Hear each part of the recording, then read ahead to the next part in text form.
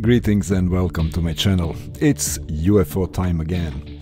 There are so many reported UFO sightings that it's impossible to count them all, but some cases are well documented so we can make up our own mind about them. Although there are sightings as recent as few days ago, I'm going back to past and present some cases that I found interesting even more so because of the way governments and military were trying to debunk them. You can guess, well-trained civil and military pilots cannot tell difference between UFO, balloon or some of the planets. It makes me laugh really. On today's menu we have three UFO encounters that took place back in the 50s. Before we start, recommendation for all of you who enjoy real ghost videos. My buddy the 3X is making some great stuff, so visit him, subscribe and like his videos. Link is in the description box. Okay, let's uh, see what was flying over our heads.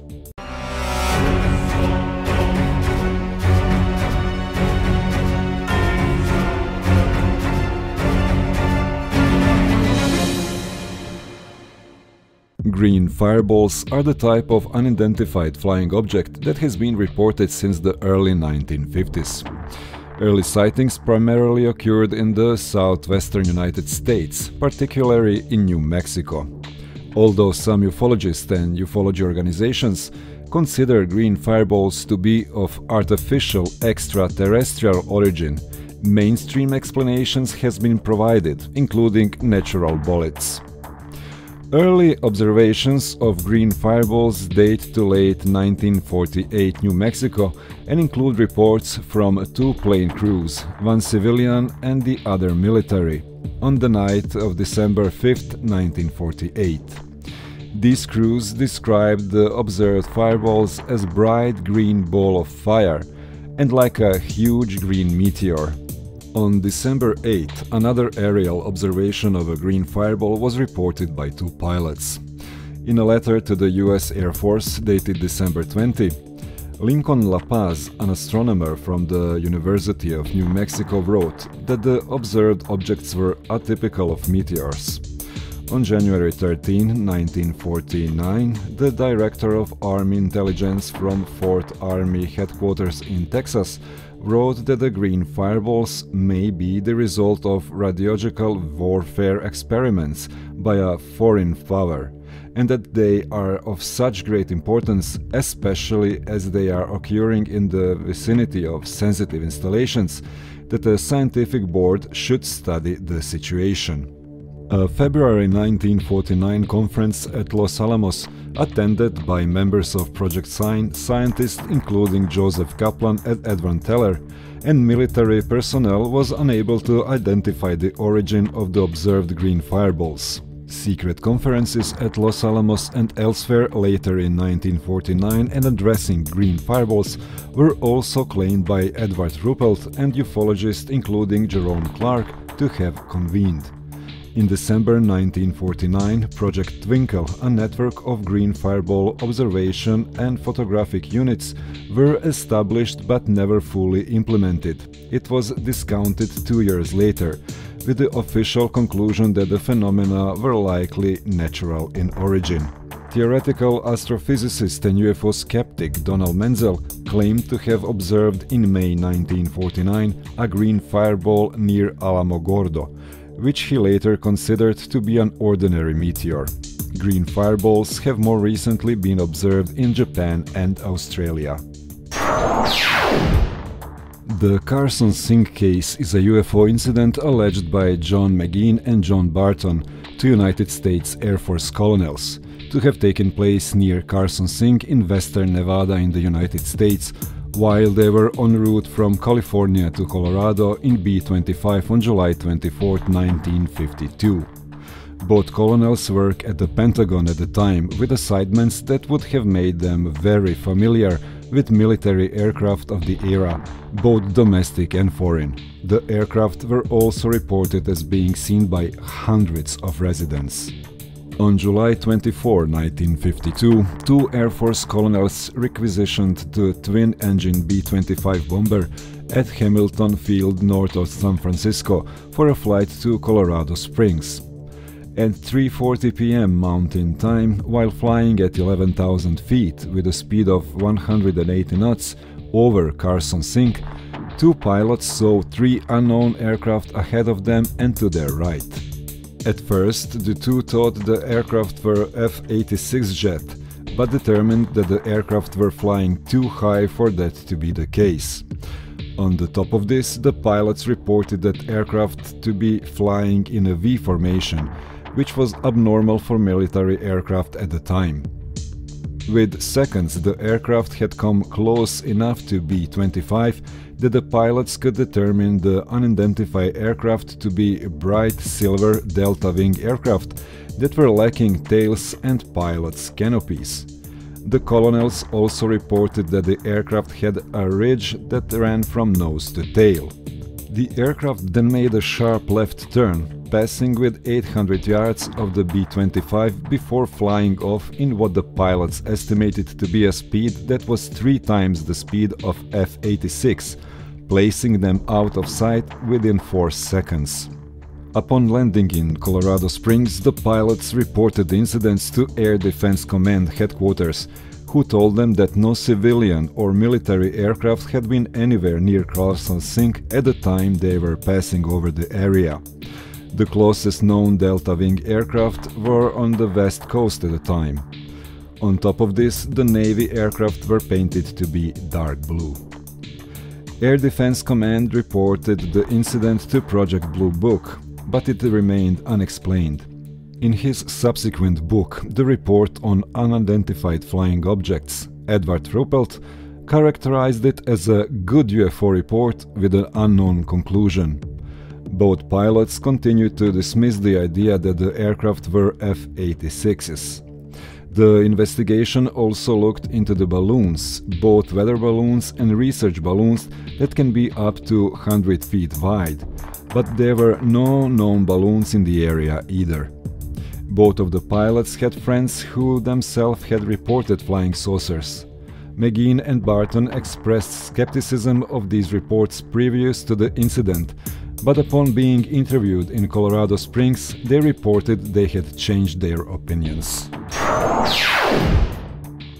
Before we continue, just a little recommendation. If you haven't seen the TV show Project Blue Book, make sure to do so, it's really good.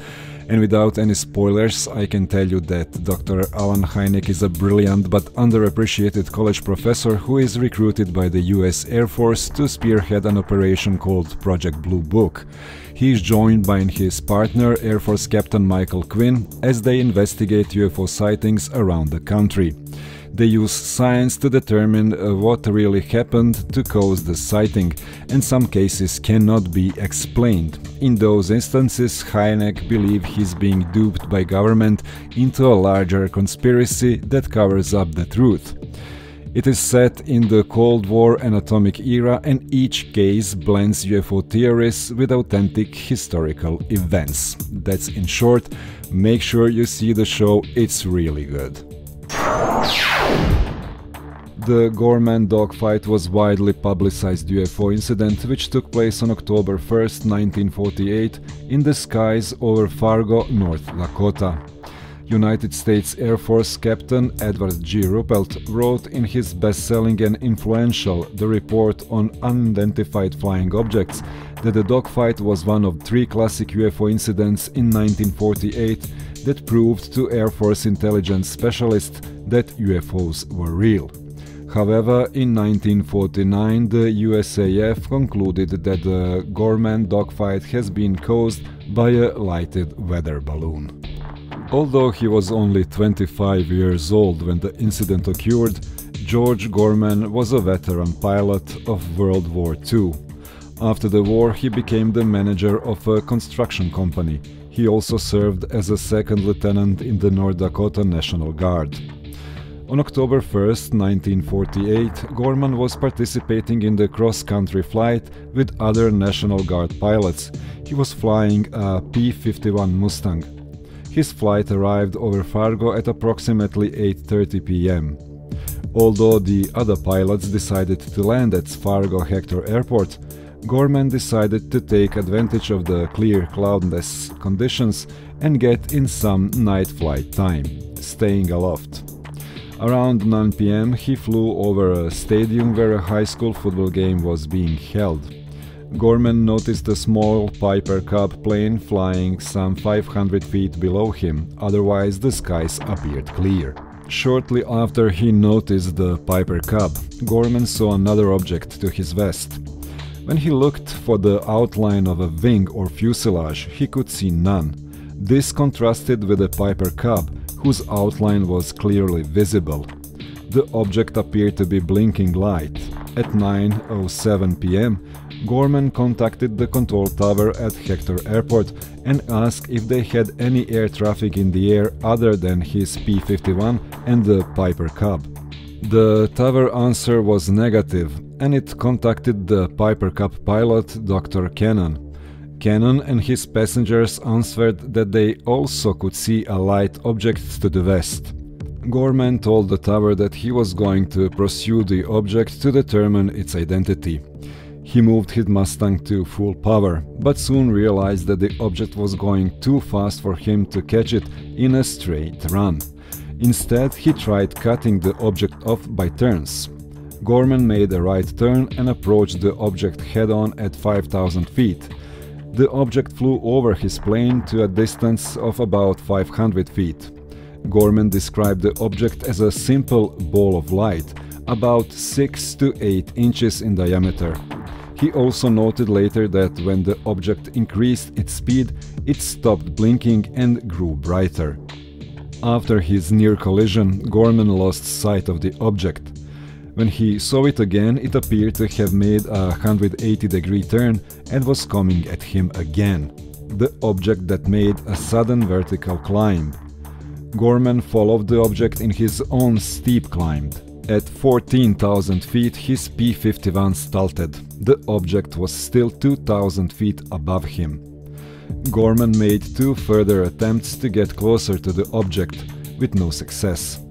It seems to make another head-on pass, but broke off before coming close to his fighter.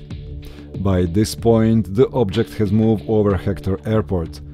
In the control tower, the air traffic controller, Jensen, viewed the object through binoculars, but could see no form or shape around the light. He was joined by Dr. Cannon and the passengers from the Piper Cub they had landed and walked to the control tower to get a better view of the object.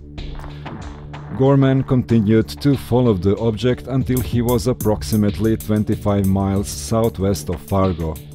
At 14,000 feet, he observed the light at 11,000 feet. He then dived on the object at full power. However, the object made a vertical climb. He tried to pursue it but watched as the object passed out of visual range. At this point he broke off the chase. It was 9.27 pm. Gorman flew back to Hector Airport. Within a few hours, military officers from Project Sign, the United States Air Force study of UFO phenomena, arrived to interview Gorman, Dr. Cannon, his passenger, and the control tower personnel at Hector Airport. The officers also checked Gorman P-51 Mustang with Geiger counter for radiation they found that the Mustang was measurably more radioactive than other fighters which have not flown for several days. This was taken as evidence that Gorman had flown close to atomic-powered object. USAF investigators also ruled out the possibility of the lighted object being another aircraft, Canadian Vampire jet fighter or a weather balloon.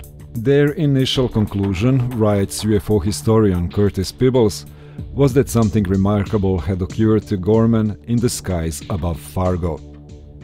However, further investigation by Project Sign personnel soon revealed flaws in the evidence. A plane flying high in the Earth atmosphere is less shielded from the radiation than the one at the ground level, thus the Geiger readings were considered invalid evidence for stating that the object was atomic powered. In addition, the Air Weather Service revealed that on October 1st it had released a lighted weather balloon from Fargo at 8.50 pm. By 9 pm, the balloon would have been in the area where Gorman and the Piper Cub passengers first saw the lighted object. Project Sign investigators also believe that the incredible movements of the objects were due to Gorman's own maneuvers. As he chased the light, the object's maneuvers were an illusion brought about by the movements of Gorman's fighter. The investigators also believe that as the weather balloon passed out of sight, Gorman had come to believe that the planet Jupiter was the UFO, and therefore he had been chasing the planet as he flew south of Fargo before giving up and returning to land. By early 1949, the Gorman case was labeled by Project Sign and its successors, Project Grudge and Project Blue Book, as being caused by a weather balloon. So, what do you guys think about these cases? Leave your comments. And if you know of any interesting UFO sighting or you have some scary stories, true, fictional, creepypasta, whatever, feel free to send it my way. Emails are on the screen right now and in the description box. That's all for today. Stay safe and I'll see you soon.